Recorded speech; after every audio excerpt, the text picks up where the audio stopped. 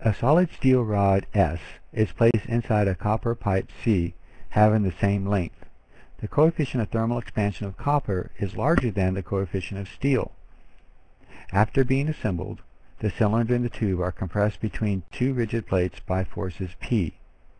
Obtain a formula for the increase in temperature that will cause all the load to be carried by the copper tube.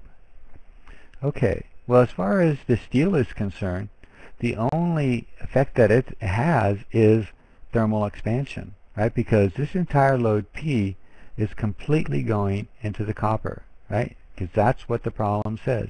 Attain a formula for the increase in temperature that will cause all of the load to be carried by the copper tube. Okay, so the displacement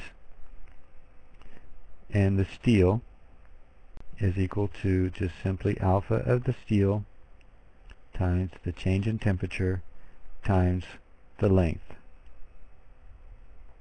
Now, the change in length for the copper, well, first of all, it thermally expands, so we have alpha C delta T L.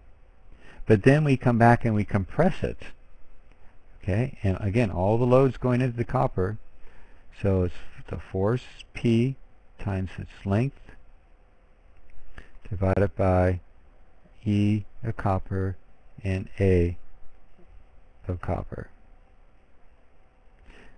Now you might be wondering here, why am I using the, the original length? Because I mean, if a thermal expands, then it's right. It's a little bit longer, so you have a little bit further to push back. Well, again, we're talking about such minor differences that uh, this would be a very safe assumption to assume that the original length and then this length after it thermally expands and we're trying to compress it back are the same.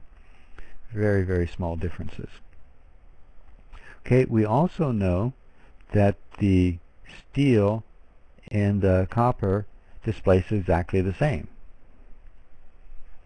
Okay, right? They're they're stuck together basically. So we have alpha S delta TL is equal to alpha C delta TL minus PL over E copper and A copper. Okay, we're looking for delta T in this particular problem. So a couple algebra steps and we get delta T is equal to P over EC AC times alpha copper minus alpha steel. And that's it. That's our equation.